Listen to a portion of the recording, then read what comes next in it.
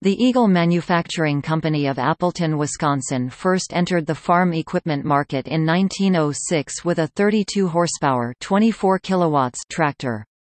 In 1899 the company was located at 671 Superior Street in Appleton, Wisconsin.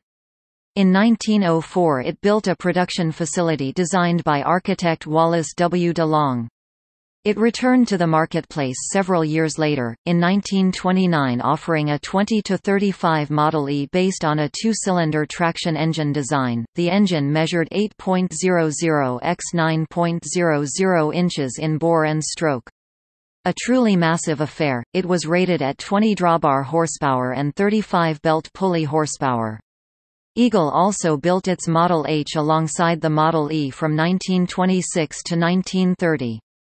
With an identical 8.00-inch (203 mm) bore to the Model E, but a 1.00-inch (25 mm) longer stroke at 10.00 inches, the Model H created a brawny 40 horsepower (30 kilowatts) at the drawbar.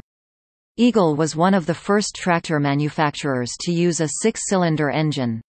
It switched from two cylinders to six cylinders in 1930. Eagle built tractors from 1906, but halted production during World War II never to start its assembly lines again.